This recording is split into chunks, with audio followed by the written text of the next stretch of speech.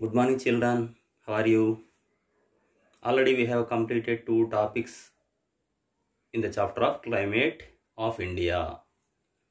In the first video, we discussed about the factors affecting the climate.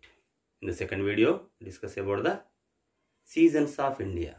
Now we are going to discuss about the global warming and climate change and AGW. Then the impact the impact of climate change on India. So today let us discuss these topics. Before going to that, we should know something about the formation of Earth.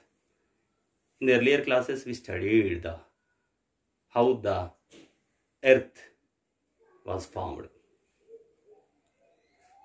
Before the formation of Earth as a planet, it took several cycles of heating and cooling. This heating and cooling process, by the heating and cooling process, it became as a earth. Through this process, so many gases are released, such as oxygen, carbon dioxide, nitrogen, ozone, etc. So these are covered, these are surrounded the earth's surface as a thick layer. Then we call it as the atmosphere. It as atmosphere. These are protecting, these layer of the gases is protecting us like an umbrella. Like an umbrella how they are protecting the solar radiation is coming towards the earth. Some harmful ultraviolet rays are coming from the sun. So the ozone layer in this atmospheric layer obstructs the ultraviolet rays and it is protecting us. The main thing is the gases are very useful to various processes. For example, you take oxygen. To survive all the living things on the earth surface, oxygen is required. The nitrogen. Nitrogen is very important for the plants. And carbon dioxide. Carbon dioxide is used in the photosynthesis process for making of food in the plants. Ozone is protecting from the ultraviolet rays. Like this, the, all the gases are protecting the living things on the earth surface. Next, greenhouse effect. What is greenhouse effect? The gases of atmosphere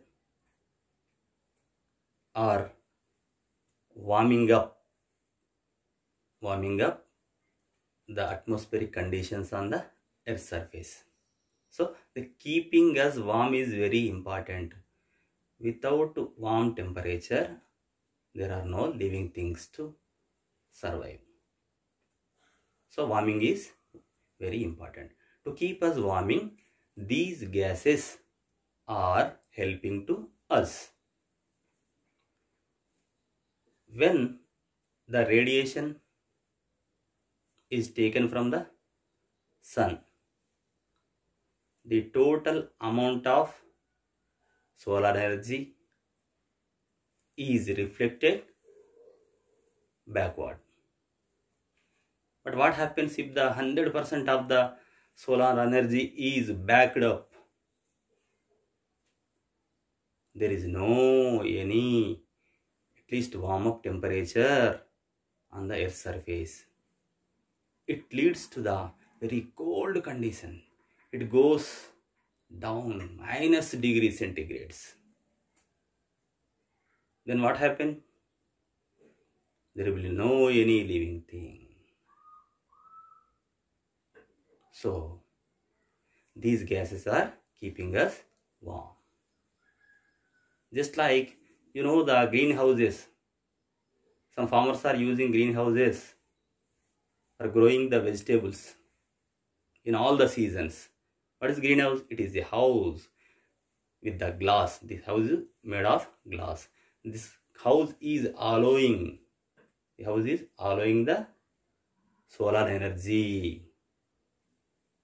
But it is not allowing to go back this energy. Somewhat energy is retained in the house to protect the plants, vegetable plants in that house.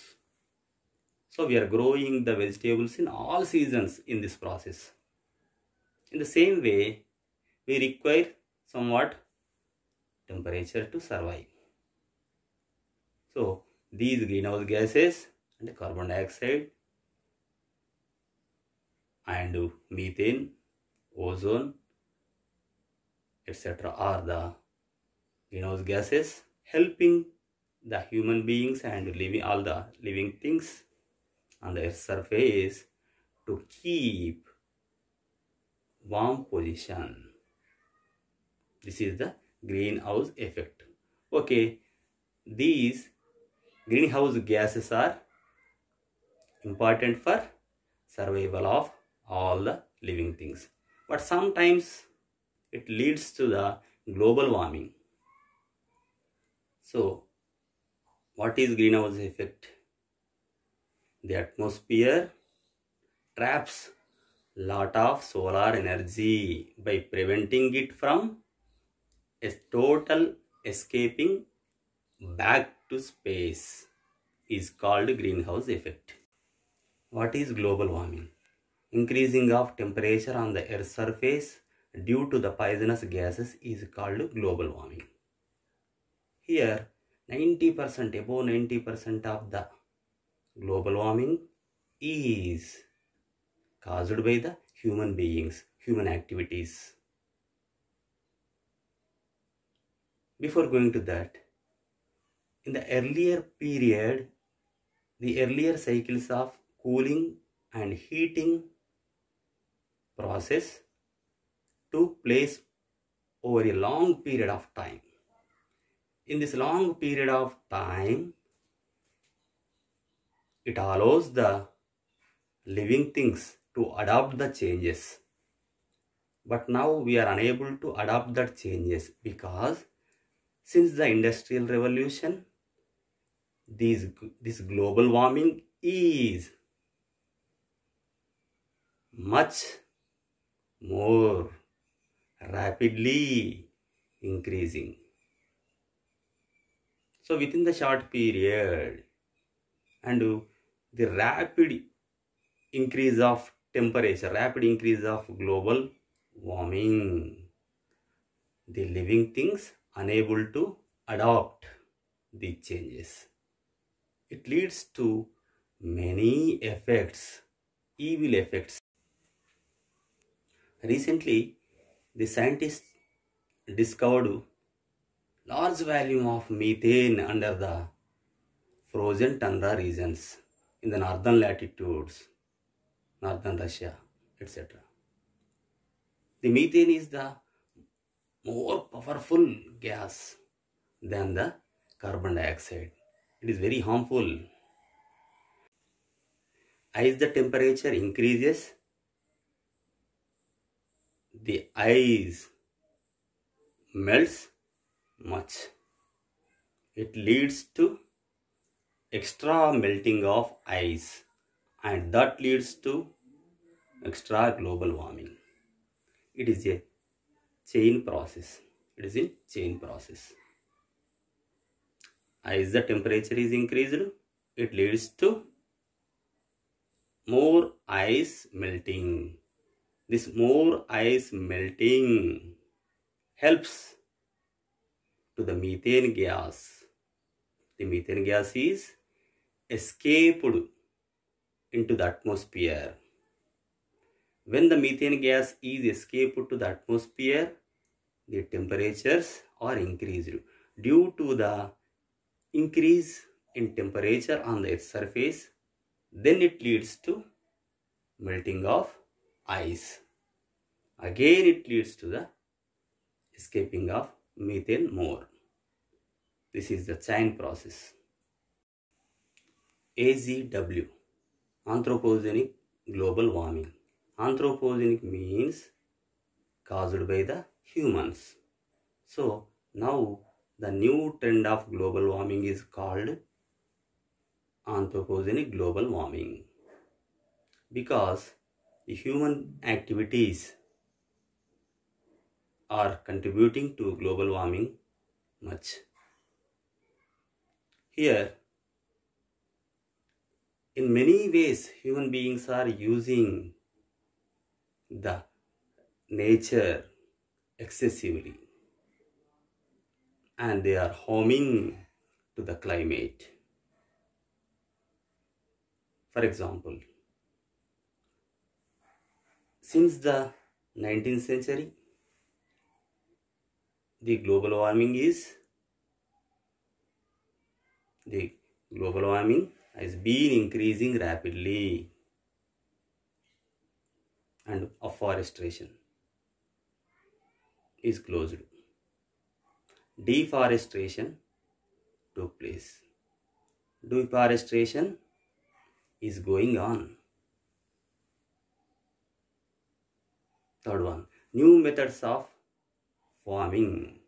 New methods of farming. Using the fertilizers or pesticides other things. And overuse of natural resources. Excessive mining. And overpopulation. This overpopulation leads to the overuse of natural resources these type of activities by these types of activities human beings are contributing to the global warming. For example deforestation. Forests are god's gift. It has a green cover on the earth's surface this protects, it receives the carbon dioxide from the atmosphere and the received carbon dioxide changed as oxygen. This oxygen used for the living things. When we cut down the trees in the forest areas or in other areas, it leads to the reduction in the green coverage on the earth's surface. Automatically, it leads to the soil erosion. Soil erosion leads to the deforestation. And we are not in a position to planting trees without this fertile soil. AGW is disrupting the system of redistribution of heat in the world. What is redistribution of heat? Atmosphere and ocean circulations redistributing the heat over the world. These disruption in two types short term effects, long term effects. It means weather effects and climate effect, effects. So, what steps to be taken for reducing the global warming? The major cause for the global warming is the burning of fossil fuels.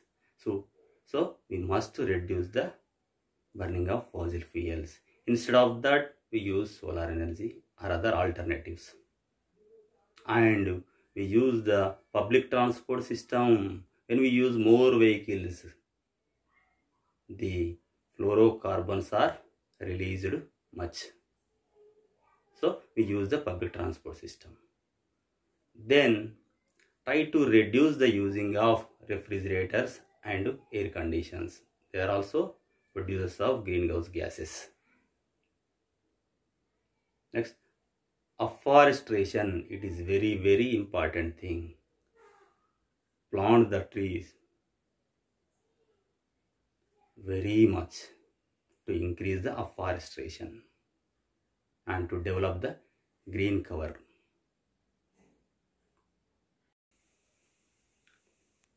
The global warming and climate change it is not local crisis it is a global crisis so all the countries in the world should participate to reduce these issues. To prevent this issue one international organization is established that is ipcc intergovernmental panel on climate change. It held so many meetings earlier but are all in the vain useless. But finally in the 2015 paris summit the countries came to an agreement. In this agreement they agreed and 195 countries signed on that agreement. The agreement is to reduce the to limit the rising temperature below 2 degrees centigrade over an industrial and industrialization period. In IPCC 2015 summit, the countries came to an agreement to reduce the greenhouse gases to limit the increase below 2 degrees centigrade over the pre industrialization level.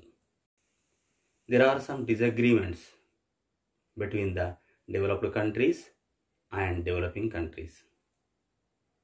The developed countries, Western countries, which countries developed industrially and in all sectors, they are called developed countries. These Western developed countries wanted to cut down the burning fossil fuels in developing countries. But the developing countries argued that the developed countries already used the fossil fuels for their economic development and they developed. But we are in the process of developing if we stop the burning of these fossil fuels, it will be affected on their economical development. So finally, they requested the developed countries to participate for the fair participation and to help in the recovering of alternative methods. Impact of climate change on India. There are three types of effects on India. First is the effect on the coastal areas. Second, the effect on rainfall. Third, the effect on Himalayan glaciers. First, we discuss about the effect on coastal areas. When the average temperature 2 degrees centigrade increases, what will be happen? Of course, the 2 degree rise 2 degrees centigrade is very small, but it affects much. As the rise in 2 degree centigrade temperature leads to the rise in 1 meter sea level over the oceans. It affects the coastal areas. It affects the coastal areas. Already we have the experience of Kolkata. In 2009, at the time of Aila cyclone, the Calcutta Metropolitan Development Authority KMDA vacated the poor people shelters over the coastal area. More than 200 families were affected. They became homeless. 700 people they lost their livelihood. They lost homes and other other things. By police force, the government shifted the people to protect them from the cyclones. And then the next effect is on rainfall. Due to the climatic changes, the pattern of rainfall will be changed. The normal rainfall pattern is changed. Some places they get excess rainfall and the other very less rainfall than the normal rainfall. The excess rainfall leads to the floods and the less rainfall leads to the droughts. Like this, the climate change is affecting the rainfall. Sometimes it leads to the acid rainfalls also. You know the effects of acid rainfalls very well. Then we go to the third effect. Third effect is on the Himalayan glaciers. When the ice, the average temperature increases, the Himalayan glaciers starts to melt.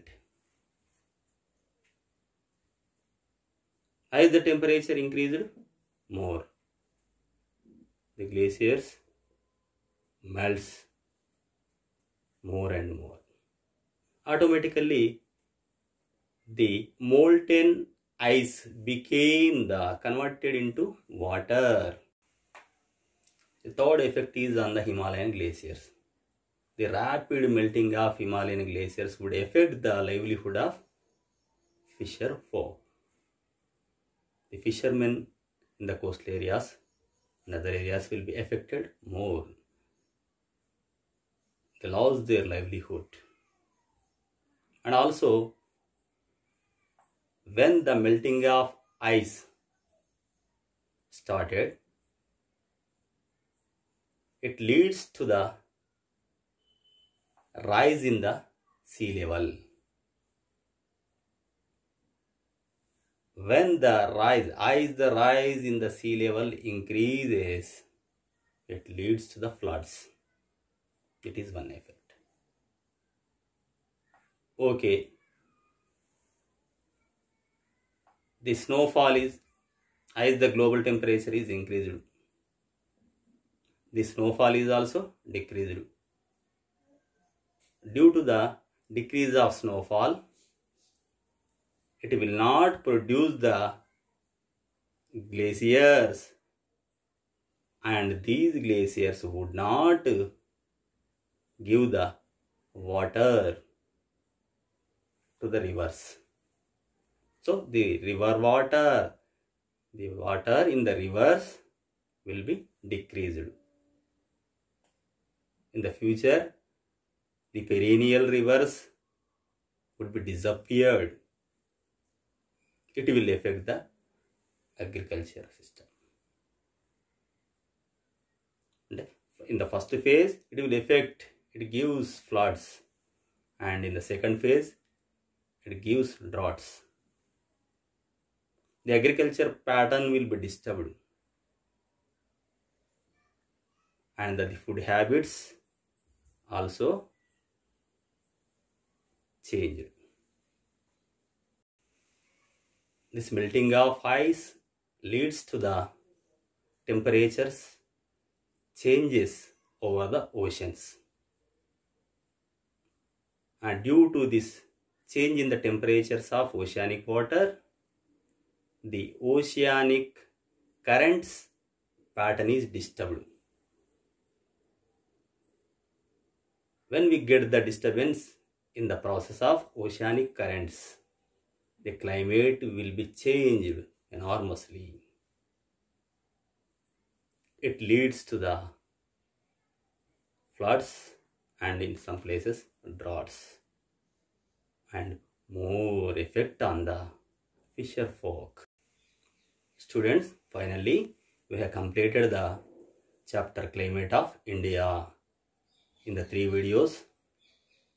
And to get the next video lessons you subscribe compulsory. And please like. And if you have any doubts